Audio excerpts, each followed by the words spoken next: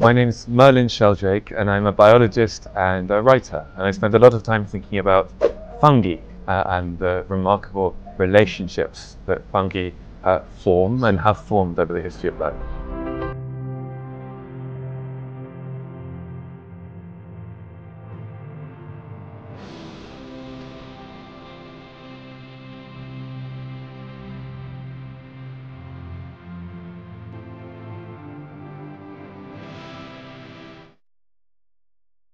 When I was at university, um, I was uh, studying plant sciences at university, and uh, it became clear that we couldn't understand the lives of plants without also thinking about the many other lives uh, that make plant life possible. And fungi and plants uh, have evolved together over hundreds of millions of years.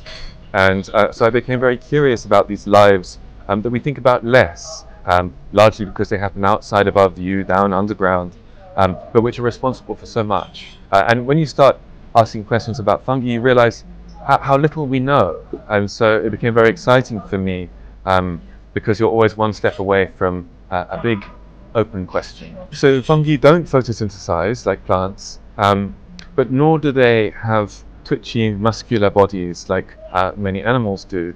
Um, animals have to find food in the world and they put it inside their bodies. Fungi do things differently. They uh, put their bodies inside their food. and they do this by growing into uh, networks of tubular cells which branch and which fuse with each other. Uh, and the name you give these networks is mycelium. Mycelial networks uh, is the main uh, lifestyle that fungi take. Uh, well, symbiosis as a word encompasses all types of living together. At one pole, you might have parasitism where uh, one partner benefits at the expense of the others and by causing harm to the others. And at the other pole, you could have mutually beneficial relationships where all the partners benefit from their association.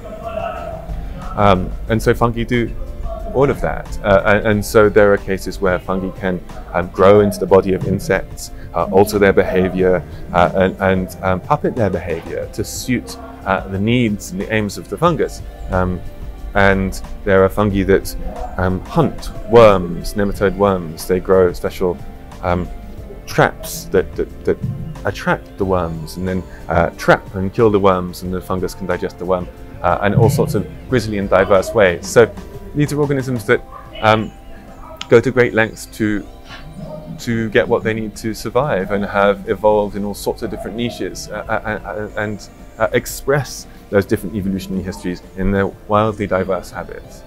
And so fungi can teach us about the interconnectedness of the living world and how uh, we always need to think about where and with whom uh, organisms are living. Um, fungi can teach us about our dysfunctional philosophies of waste. We produce things and they have a straight line from production to landfill, as if it just stopped there. But, uh, but fungi are great decomposers. Without fungal decomposition, the earth would pile up kilometers deep in the bodies of animals and plants. Um, so they can teach us about um, rethinking our dysfunctional philosophies of waste and thinking more in terms of cycles. Um, and fungi can teach us about the power of uh, decentralized, robust networks. They can teach us about the fact that um, life is a process because a fungal network is never fully grown in the same sense that a, a human can be fully grown. Um, they are always uh, growing and changing and remodeling themselves. And it reminds us that all life is a story of process and change. Uh, but also, fungi can teach us about the power of uh, what lies hidden, what lies beneath the surface.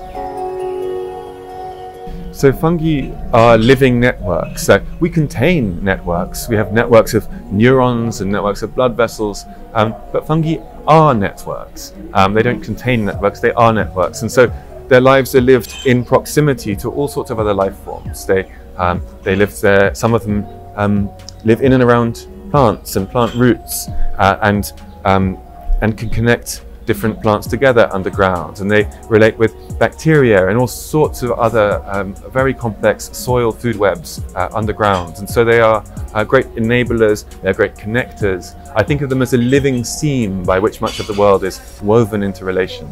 I mean, fungi have been forming networks for over a billion years. Uh, and so um, for humans, network has become a, a, kind of a master concept that we use to describe um, physical networks like the network of cables that creates the internet. Um, but network thinking has permeated so many aspects of human life. Um, whether we think about social networks, uh, whether we, um, even in, say, when you're trying to understand the biochemistry of a cell, we use network models now to understand how these um, different aspects of a, cell fit together. Uh, so fungi are, uh, poster organisms for network thinking. Uh, and I think they can teach us a lot uh, about networks because they, um, they've been doing it for longer than we have. I do think there are things that we can learn about how we build decentralized networks because fungi form decentralized networks. There are so many questions about, about fungi, you know, starting from the very the basic level. For one given mycelial network, we know very little about how they coordinate their behavior. How does one part of the network stay in touch with another part of the network?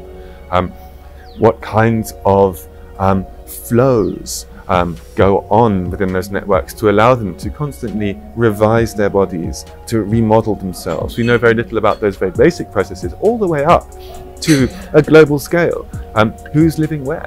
And, and what are they all doing in those places where they're living? Um, and everything in between. There are so many wild open questions with fungi and, and, and, we need to look at both the very large and the very small uh, to start to uh, understand how it all fits together. So fungi is uh, the term given to a kingdom of life. So this is as broad and busy a category as animals or plants. And we think less about fungi because it was only in the 1960s that they uh, were designated uh, a kingdom of life. And so um, they haven't had a kingdom's worth of attention. So the Fungi Foundation was started by a, a, a dear friend and a colleague called Giuliana Furci, who's um, Chilean, and she realized that fungi are largely absent from our conservation frameworks. Uh, many conservation frameworks and policies, they mention flora um, and they mention fauna, they don't mention fungi. And that's a problem because from a policymaker's point of view, if there's nothing under threat, there's nothing to protect. And so the Fungi Foundation and, and the 3Fs initiative that I work with Giuliana on is to try and um, to include fungi within our conservation frameworks, to start thinking about organisms which we have historically not thought about enough, because if we don't think about these organisms, then um, all our other efforts to conserve will be um, problematic.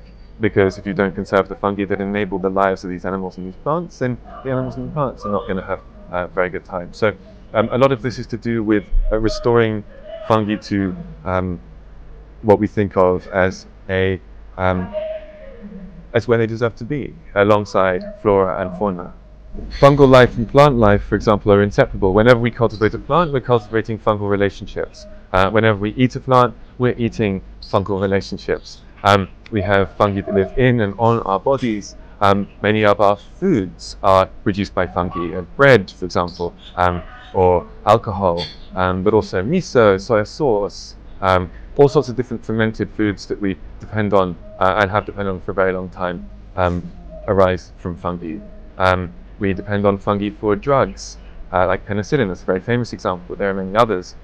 We depend on fungal metabolisms to, to transform and have always done so. So when there are um, polluted environments, for example, there may very well be ways that we can partner with fungi to help us to break down those pollutants or to uh, sequester heavy metals, for example, um, in the environment. This is an area which is under research, it shows a lot of promise, uh, and um, uh, it's in a very exciting field, mycoremediation. Fungal networks are are transport networks, um, and they are networks of communication. The fungal network has to stay in touch with itself. It does that through chemicals, uh, shifts in its bioelectrical activity. Um, uh, bacteria can use fungal networks to navigate the cluttered obstacle course of the soil. Um, plants uh, form relationships with fungi which can extend their reach into parts of the soil that the plant has difficulty accessing. Um, the living world is full of um, of signals and cues and, um, and information passing in, um, in very different ways. Uh, and fungi participate in that story for sure. There are so many open questions, so many ways that we might partner with fungi to adapt to life on a damaged planet. There are so many um, extraordinary things that we can learn about how the living world works by thinking and asking questions about fungi. So I'm just excited to see more uh, young minds start thinking about these organisms and uh, choosing to pursue um, courses where they are um, engaging with these wild um, and wonderful creatures.